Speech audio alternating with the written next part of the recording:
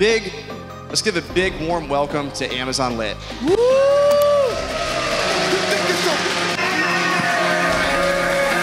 Miami, what the fuck is up?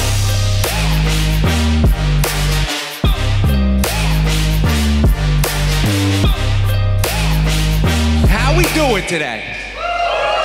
At that level of motivation is trash to me. That, that level of motivation is just not gonna cut it. So one more time, how are we doing today?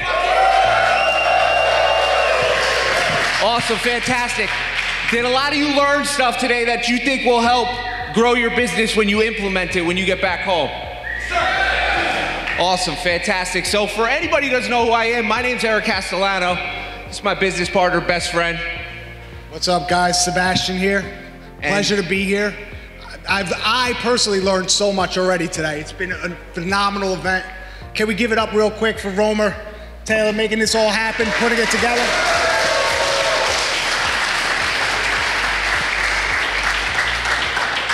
Yeah, shout out to these guys for putting this together, and shout out to all y'all for making a commitment to come out here.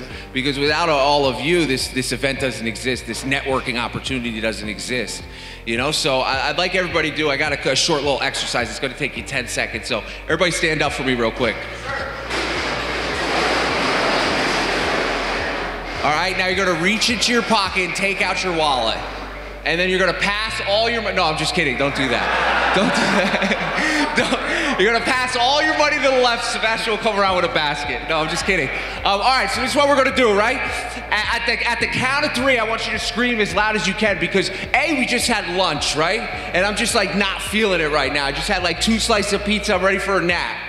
You know, so so we got to change that. So I want everybody to scream at, at a count of three as loud as you can to change your mental state. Switch it up a little bit, right? So I'll do it first, so nobody's uncomfortable. I'm going to count to three, and then I'm going to scream, and then I'm going to count to three, and then I want all of you to scream. All right? So here it goes. On the count of three, I'm going to scream. One, two, three. Miami, I need it louder than that. On the count of three, as loud as you can. One, two, three. Yes, fantastic, my friends. I bet you're feeling a little more motivated right now, are you? Fantastic. All right, grab a seat. I love this shit. I love you too. Um, so, so listen. Today, today, you know, we, we, we, we do events like this all over the country and soon all over the world. Uh, but we don't have a, any presentation planned for you today. Today, we're going to talk about something that a lot of people miss out on, and, and not a lot of the conversation today is going to be about Amazon FBA. It's going to be the, about the mindset that you need to achieve these goals that you set out for yourself. Yeah, I mean, let's let's look at just the energy, right? The change in our energy that we just went through right there.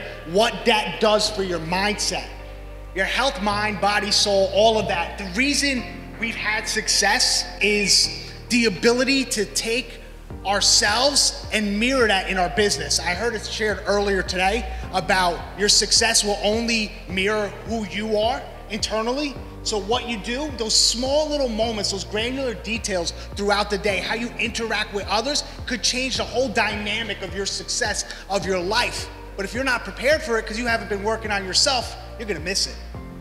All it takes is one of those moments to happen for your whole life to transform. And that's why I set these outlandish goals because who I am today won't be capable of running the business I'm gonna have in the future. I need to keep progressing in order to meet that standard that I want to be and that I'm going to be at. The person I was five years ago wouldn't be able to, the person I was last year wouldn't be able to handle the amount of stresses I have on a daily ba- basis because of the businesses I run. So, just a little backstory on us. Sebastian and I, we met what?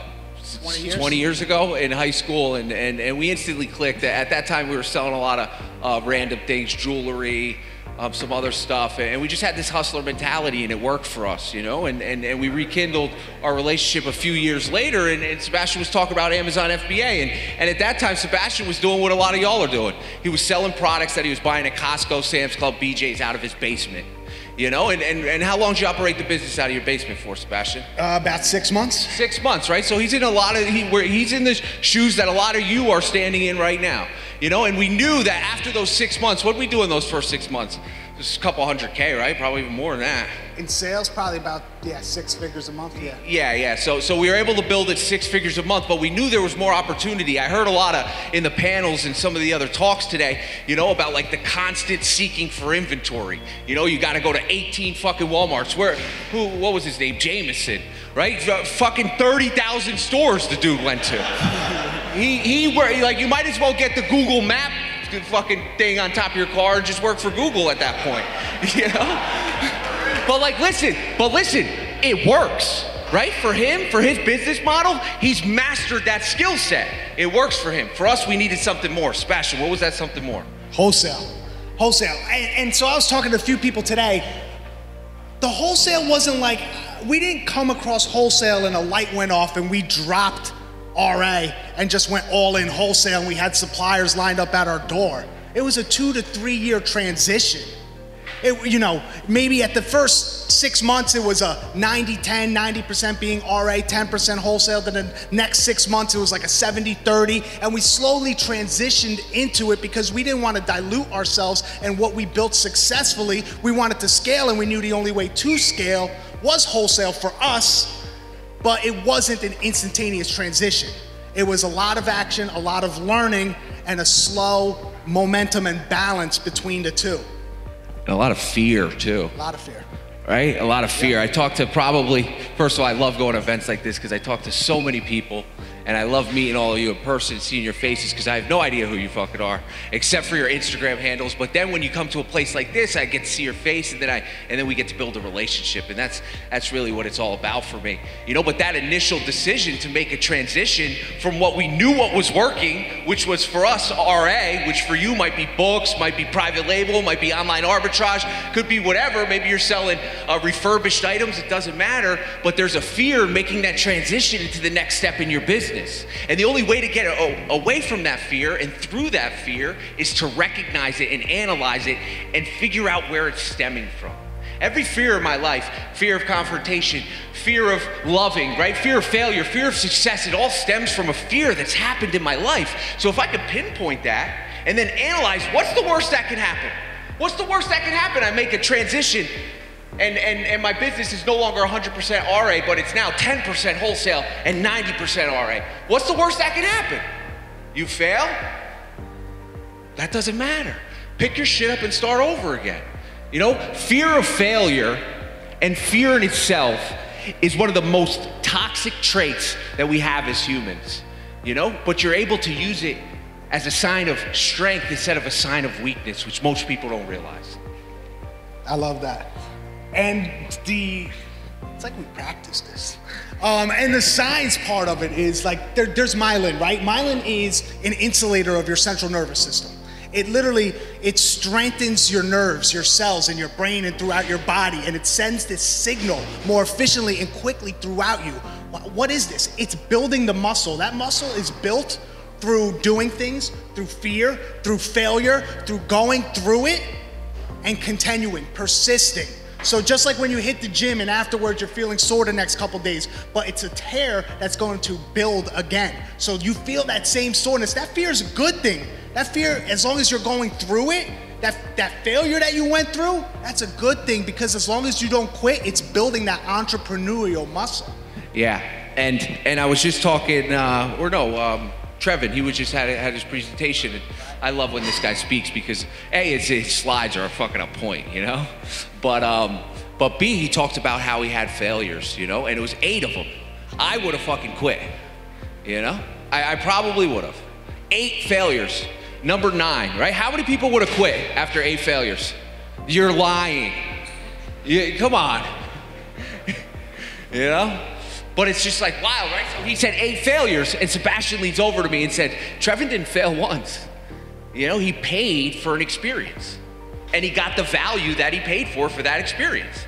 And for in his case, it was much cheaper than a college education, you know, than some sort of sophisticated degree. It was much cheaper. A couple hundred dollars. Second thing, I was talking to Taylor last night, right? Me and Taylor were kicking kicking the shit over at the bar. And he said, Eric, yeah, he was, he was talking about a, a loss he had. And I was just like, bro, that's not a loss. You paid to learn something new. A $4,000 loss isn't a $4,000 loss if you gained invaluable experience and knowledge that you can use to leverage for the future of your business. If you're seeing that as a loss, you got a disconnect up here and it needs to be fixed. And the only way to fix this is by absorbing more information and attending more events like this and surrounding yourself with people who have this fixed. Because this, for me, was broken for a long time. And it's still broken, and I fix it every day to become a better individual, a better entrepreneur, a better hustler, better motivator, better social media presence, better person, better brother, better son, better boyfriend. Absolutely. And it all comes from what a lot of people stem as a mistake, right? These mistakes are learning experiences as long as we don't repeat them